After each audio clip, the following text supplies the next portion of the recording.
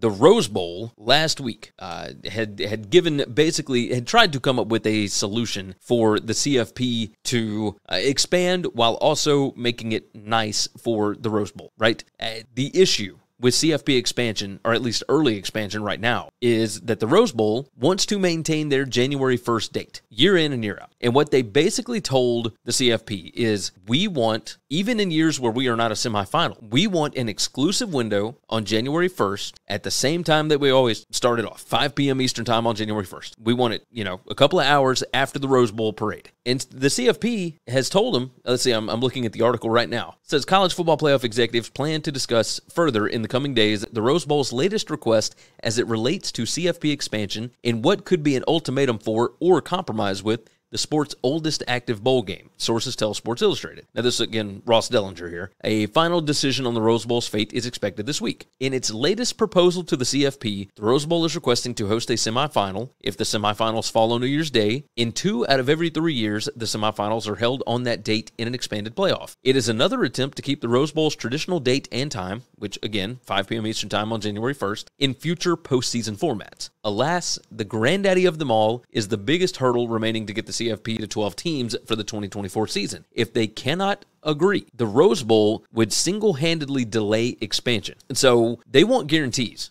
basically, the Rose Bowl does around not only its role in future playoffs um, in order to expand early, right? They, they want all of this stuff in writing so that going forward, even though there's no deal past 2026 right now, um, or past the 2025 season, they want it in writing. They want guarantees that their slot their exclusive slot where no other game is going to be going on at that time that they will be taken care of. And I don't think you can do that. Like it, it basically it says uh they so five of the six bowls, sugar, orange, fiesta, peach and cotton are in support of amending the contract to expand early. CFP officials need unanimous agreement from all six bowls in order to expand the playoff to 12 teams before the media rights contract with the ESPN's uh, ESPN ends after the 2025 playoff. Uh, it says few if any guarantees can be made for the playoff beyond 2025 because no contract exists. Now, the issue is, again, the Rose Bowl wants to host uh, a non CFP game on January 1st in that exclusive window, even in years where they are not hosting in the CFP. H- how does this make any sense whatsoever? Like uh, the Rose Bowl wants all these different guarantees, and yet the CFP is not in a position to be able to guarantee anything because there is no contract. Now, what what we're really boiling down to is this week we could find out that the Rose Bowl will not be included as part of the expanded college football playoff because the Rose Bowl might be willing to just walk away from the table if they don't get these guarantees. And if they don't, that means there's no expansion in 24 or 25. That means the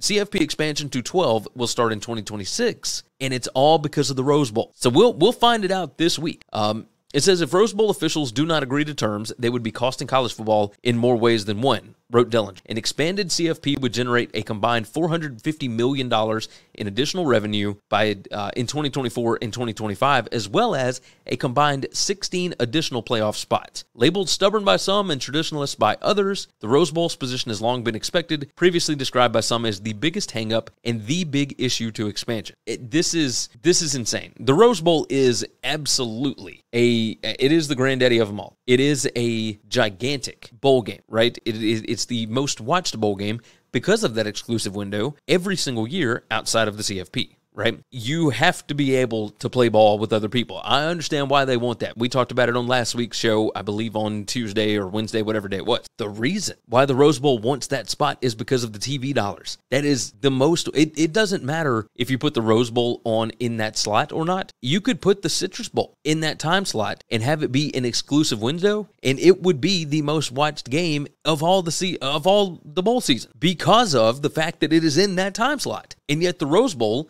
they want to play traditionalist. They want to do all this. Hey, even in years where we don't, we want to have a game on January 1st in that exclusive window, etc. It didn't matter to them when they were hosting BCS national title games. It didn't matter to them early on when you have to move the game off of TV for the NFL, right? When uh, all of a sudden January 1st is on a Sunday and the Rose Bowl is going to argue. I mean, it, doesn't make a whole lot of sense right? Like it, you're a traditionalist until you get more money to do something else, right? That's that's the situation here to me. Uh, But we'll see what ends up happening because I, if they can't find a way to coexist, if they can't find a way to make this work, uh, you're talking about costing college football about a billion dollars in additional revenue, or at least close to it, oh, for two years of non-expansion. Like, do you think anybody in that room, in that CFP room, is going to care about whether or not the Rose Bowl gets an exclusive time window? No, they'll take a game, they'll create a game over at SoFi Stadium, the new billion-dollar uh, stadium that's in Los Angeles. I mean, it's in the same town. I understand that the sight lines and the views and all that, oh, the sunset over the mountains and blah blah blah blah. Uh, the bottom line is this: if the Rose Bowl doesn't come come to play, then the CFP will do away with, it. and that will just be another bowl game on another day, and we'll see what happens with it. But there are no guarantees past 2026. No guarantees at all. You could be looking at the third place Big Ten team